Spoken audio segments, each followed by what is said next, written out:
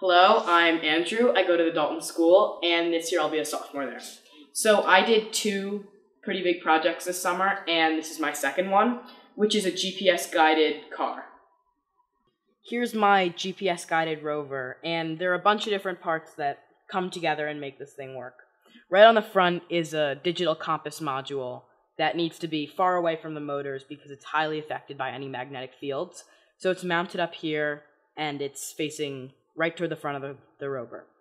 Uh, right behind it is a small LED indicator that displays direction. So as it's trying to turn, it'll light up a specific LED to indicate its target. Then here's the actual Arduino, which stores the code and makes everything happen. And on top of it is, is a motor controller that drives these big motors. And as you can see, it's getting kind of complicated with the wiring, but everything is working really well. And then on the back is the GPS module, which is also very critical to the project. And that just takes in GPS data, which when it connects to a satellite, and then transmits it to a serial port on the Arduino Mega. On the back is a 12 volt, 3.8 amp battery, and it's a little damaged, but that goes right into the Arduino, which then routes the power to the motor controller. So the Arduino has to perform some pretty heavy calculations, some trigonometry to actually calculate a path. So it does that by taking in your GPS location and then the GPS location of a target. So the way I send the target location is through this processing sketch I made. And it incorporates a lot of Google Maps data, so I can type in a latitude and longitude, or just use the default one, which is Boston, and send it to the Arduino. So once I've done that, the coordinates have been set and it'll drive there. So then, once the Arduino gets target coordinates, it makes a path by drawing a right triangle and then finding the angle in between you and the target. And then, once that's found, it'll calculate where you need to turn to and then how far you need to drive. So it's constantly using the Haversine distance formula to check the distance between two latitude and longitude points and then know when you're there or when you need to turn. So, right now, this car is calibrating the compass and I just sent it the coordinates of the end of the sidewalk over there. So it's going to drive over there right now, hopefully. And again, GPS is only accurate up to a few meters, so if it gets pretty close, then it's working correctly. So you can see it's, it's turning a bunch of times because every time it moves, every time it runs through the program, it's checking to see if it's oriented properly. So it moved a little and then re reoriented. So if there's a slant in the the sidewalk or whatever, it'll make sure that it's facing the right way.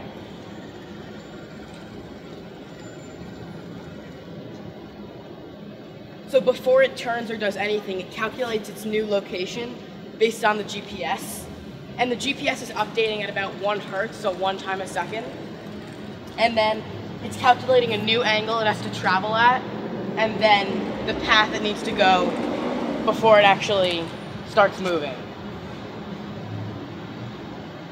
So it's not the fastest of cars, but it's really accurate. And that's probably the most important part if you want a car to be guided by GPS.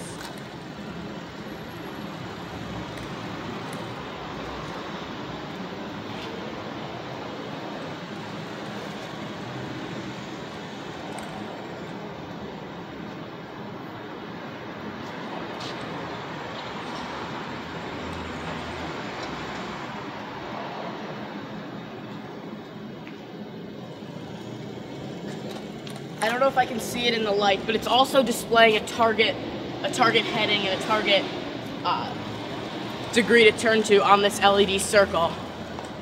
And then I guess turning there.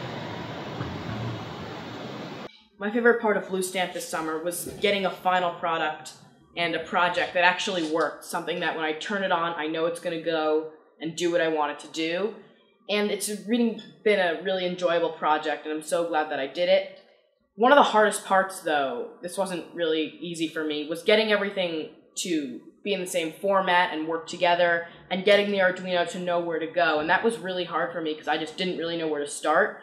But as you do everything in pieces, starting with the GPS, then the motors and the motor controller and the computer, everything starts to fit together gradually. And once you smooth out the few rough edges, it's been a really great project. Furthermore, I think that I can really combine this project with my bike cycle computer and add some sort of wireless telemetry and location data that's transmitted to the computer. And that'd be really neat to see the first project actually transform into helping the second, and then just combine my experiences together.